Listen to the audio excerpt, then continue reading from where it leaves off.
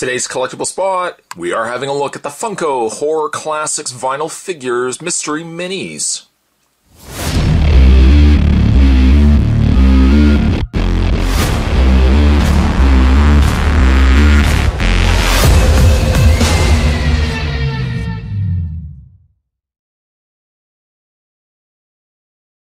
Recommended for ages 17 and up, these also contain a choking hazard as they could contain small parts. Spot picked up two of these, though likely, yes indeed, will likely go back and pick up more of these. I don't think there's a single character here that I don't, I don't want to add to my collection. On the front, Freddy Krueger. Your opinions as to whether that is the Jackie Earle Haley, Freddy Krueger, or Robert Englund. That definitely looks like Freddy versus Jason, Jason Voorhees, also included in this set. Turn around to the side. Hannibal Lecter, Michael Myers, also rounding it up. Parental advisory explicit content down below. And on the back.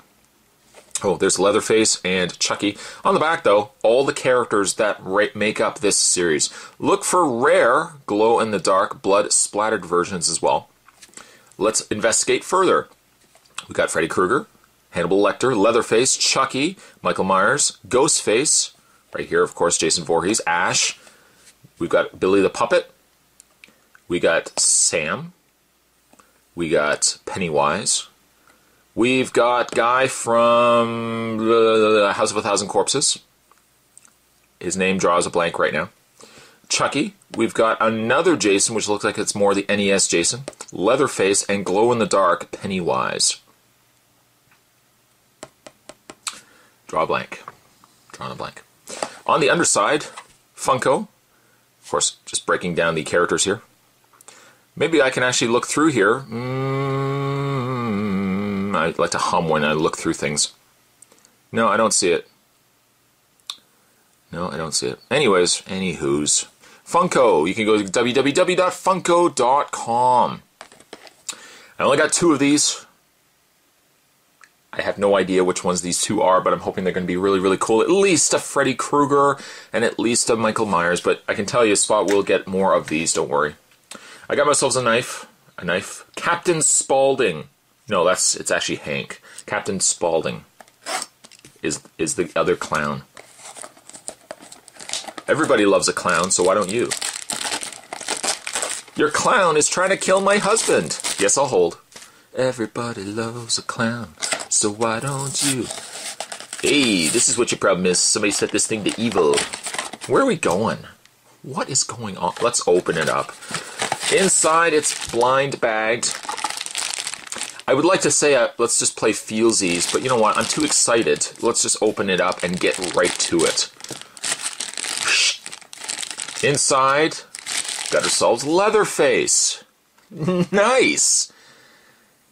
Once again, Funko delivers with really nice paint jobs and detail. You get a little simplified version of Leatherface with his chainsaw intact. He's got some arm hair, and of course his mask. He's got a little bit on his apron, which surprisingly the splatter kind of looks like the Mickey Mouse logo. I don't know if there's a coincidence there. Maybe Disney has bought up the rights for Texas Chainsaw Massacre. Could you imagine a Texas Chainsaw Massacre Disney movie? Mary Poppins better watch herself, that's all I have to say. On the underside, say, oh, it actually says uh, Kim Henkel, Henkel and Tobe Hooper. Very nice. 1974 so they actually give you the dates of these pieces. Uh, it doesn't look like there is any articulation. I would have thought maybe his head would have rotated, but no, Leatherface is staction. Staction means it doesn't move. It just just does what it's doing right now. Let's open up the next one, find out which one is going to be joining us on this adventure. Yes, I know, I just crudely cut it. It still did it what it needed to do.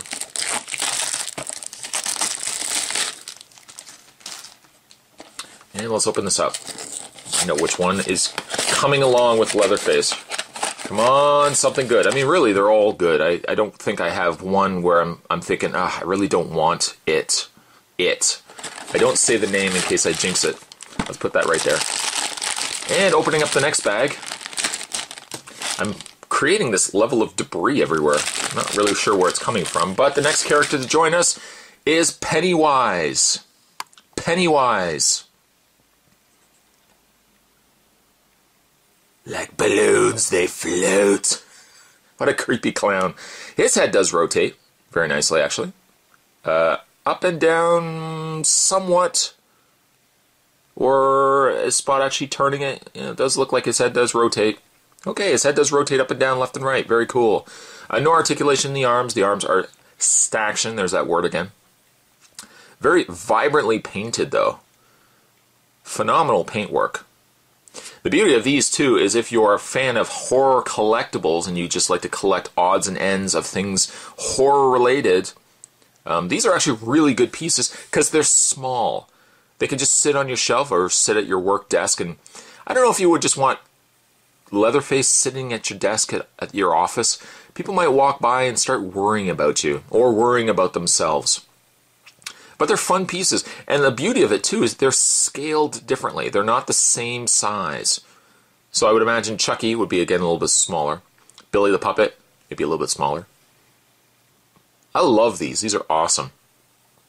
Again, Spot's going to try to get more of these, and uh, certainly if I do, more reviews will certainly follow. Put these down. Let's show off what we're having a look at today's collectible spot. We're having a look at the Funko Horror Classics Mystery Minis. As a side note to Funko, I hope they continue to release characters like this. This is an awesome line. And you know what? Maybe even let me know down below what characters would you like to see for future horror classic pieces from Funko. I'm looking at this, I'm thinking maybe Maniac Cop. Um, maybe The Fisherman would be kind of cool as well. Sky's the limits. Sky's the limits. Certainly, thanks for watching as you always do, guys. Stay tuned. Spot's got more collectible spots heading your way. Thanks for watching. See you next time.